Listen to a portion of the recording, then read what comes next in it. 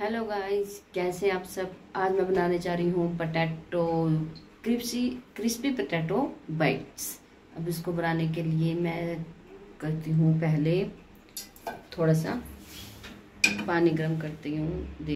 Guys मैं थोड़ा सा पानी उबाल रही हूँ। ये पानी किस लिए उबाला है? उसका रीज़न है, जब तक मैं आलू कट करूँगी ना बाइट्स के लिए, तब तक ये पानी बॉयल हो जाएगा। इसलिए थोड़ा फास्ट काम करने के लिए।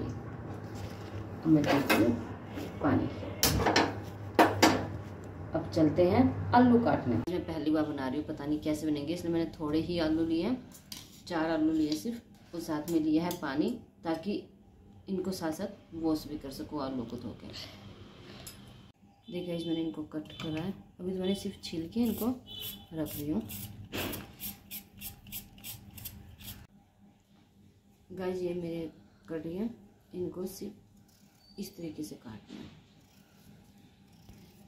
इस तरीके से कट करके इनको अच्छे से वॉश करेंगे फिर। देखिए ये ऐसे से अलग अलग पीस करने। और पीस को अलग अलग करके ऐसे सारे पीस को कट, सारे पटेटो का हम कट करेंगे। कट करने के बाद इनको वॉश करेंगे अच्छे से। गैस देखिए मेरे आलू भी अच्छे से धो के वॉश कर लिए, सारे आलू कट चुके हैं और इधर मेरा पानी भी बॉईल हो गया इससे हमारा जल्दी काम हुआ है। अब इन आलूओं को इसके अंदर बॉईल करेंगे। ये बॉईल सिर्फ़ तीन से चार मिनट के बीच करना है और इनको ज़्यादा उबालना नहीं है। हल्के हल्का कच्चापन रहने देना है। जब तक कि हमारे इनको सारे आलू को अच्छे से बॉईल करने के लिए रखती हूँ मीडियम फ्लेम पे। ताकि क्योंकि ज़्यादा वो फ्लेम तेज की तो पानी बाहर निकलेगा। इसलिए मीडियम फ्लेम पे ही मैंने इनको बॉईल कर रही हूँ, पाँच मिनट के बाद। इसको फिर हम चेक करेंगे। गाय चार मिनट हो गए अभी, इनको बॉईल होते हुए। अब मैं इनको निकाल कर देख रही हूँ कि बॉईल हुआ है या कुछ टाइम और लगेगा। तो मैंने एक आलू को निकाल के ऐसे हम इसमें ऐसे नाइफ पकड़ना देखिए गाइस इजीली जा रहा है और हो रहा है। मतलब ज़्यादा कच्चे भी नहीं है और ज़्यादा उबले भी नहीं है। अब मैं इनका पानी को निकाल दूँगी। पानी निकाल के गाइस आलू जो बॉईल हुए थे, उनको इस चॉपर की सहायता से मिक्स में थोड़े पीस लेंगे। आप चाहे तो चॉपर में पीस सकते हैं मिक्स में चाहे तो मिक्स में पीस सकते हैं। अब मैं इन आलूओं को अच्छा डाल के इजीली इसको चॉपर में पीस क्या गाइस ऐसे तो मैं बिल्कुल इनको मिक्स में या चोकर में या ग्लाइंड ग्लाइडर जो भी आप यूज़ करते हैं, उसमें यूज़ करके इनको अच्छे से मिक्स करेंगे।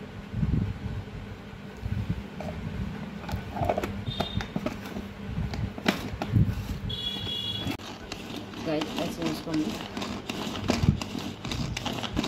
मिक्स करें गाइस, देखिए, मैंने ग्लाइंड कर दिए हैं। ये ज़्यादा भी नहीं है मतलब अच्छे से, ज़्यादा भी बिल्कुल आटा भी नहीं किया और थोड़े से मोटे हैं, थोड़े देखिए। ज़्यादा वो भी नहीं करे मैंने बिल्कुल बारीक और अब मैं कर रही हूँ, एक तरफ़ ऑयल गर्म।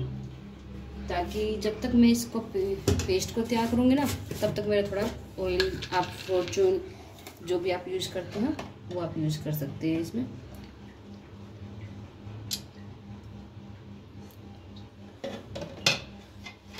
तो जब तक मेरा फॉर्चून गर्म हो रहा है, तब तक मैं अपना पेस्ट तैयार करती हूँ।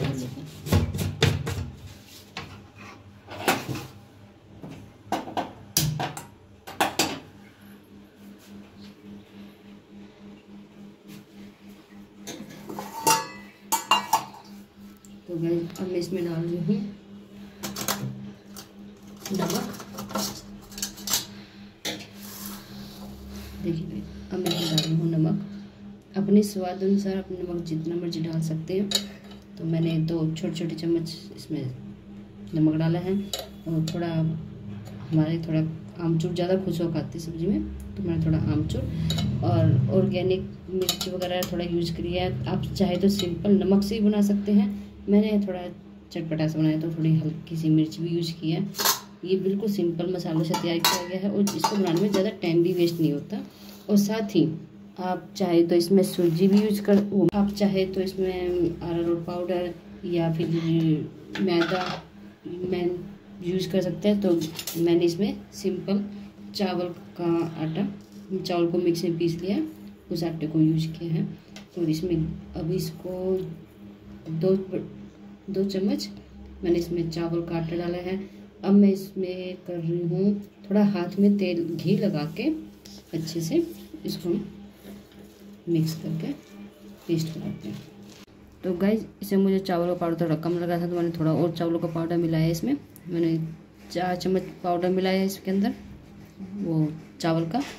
और अब मैं इसको देखो, आप चाहे तो ऐसे रोल भी बना सकते हो सिलेंडर शेप में। अगर आप ऐसे ना बना चाहे तो इसको गोल सर्कल में भी बना सकते हो, इस तरीके से। या फिर आप दिल शेप में भी बना सकते हो इसको। आप चाहे तो जो मर्ज़ी से भी इसको दे सकते देखिए गाइस थोड़ा थोड़ा तो लग रहा है दिल, लेकिन कुछ कुछ लग रहा है कुछ कुछ नहीं लग रहा। आप जो आपको स्टेबल लगे कुछ कुछ लगा गाइस अब तो लग रहा है दिल से। देखिए गाइस दिल शेप लग रहा है ना? तो अब मैं इसको ऐसे सारे से दिल में या फिर सर्कल या स्लाइडर में बना के रख देती हूँ तब तक के लिए रेडी जब तक मेरा ऑयल भी गर्म हो जाएगा। गाइस देखिए, मैंने गोल सर्कल दिया है इनको। दिल नहीं बनाया। क्योंकि दिल में बहुत ज़्यादा टाइम लग रहा था तो मैंने थोड़ा रहा नहीं, जा रहा खाए बिना। तो इसलिए मैंने इसको गोल सर्कल में बना के आप चाहे तो ऐसे कैसे इसको फ्रिज में रख सकती हो। अच्छी सी पन्नी होती है जो ऊपर पन्नी होती है, जो बटन होता है, लग, क्या बोलते हैं उनको? माइंड से वो भी हट गया। तो उस पन्नी में डाल के आप इसको सेव कर सकते हैं, तीन महीने तक रख सकते हैं फ्रिज में। और चाहे तो आप हैंड टू हैंड इसको, जो हमने तेल गरम किया था मीडियम आँच में, उस, वो ज़्यादा गरम नहीं होना चाहिए तेल, ध्यान रहे। वो मीडियम आँच पे आप इसको ऐसे कर सकते हैं। और ये आप फ्रिज में काफ़ी दिन तक रख सकते हैं। और जब चाहे इसको करके आप टेस्ट कर सकते हैं। जो कि कुछ ही मिनटों में बन के तैयार हो जाते हैं। और साथ ही एक चीज़ और आपके कढ़ाई में जितने आए, उतने ही आप एक साथ डाल सकते हैं। और अब मैं इनको तलने के बाद थोड़ा पलटते रहना चाहिए ताकि ऊपर नीचे अंदर बाहर सारी जगह से सीख जाए। जब तक ये हमारे सीखेंगे, फिर मैं आपको तल के दिखाती हूँ कि कैसे लगेंगे तलने के बाद। ये मेरे रेडी हो चुके हैं क्रिस्पी और आप इसके चटनी के साथ या हरी की चटनी के साथ या किचन किसान केचप के साथ जैसे मर्ज़ी टेस्ट कर सकते हैं। ये बिल्कुल ही सॉफ्ट है। देखिए आपको मैं खोल कर दिखाती हूँ। देखिए गाइस ये बिल्कुल क्रिस्पी है। और देखिए, बिल्कुल सॉफ्ट भी है। अंदर से बिल्कुल पक भी चुके हैं। और बहुत ही यम्मी है। प्लीज़ गाइज़ एक बार ट्राई ज़रूर करें। अगर आपको मेरे बनाने का तरीका अच्छा लगा हो तो मेरे चैनल को सब्सक्राइब करना ना भूलें। और मिलते हैं नेक्स्ट वीडियो में, तब तक के लिए बाय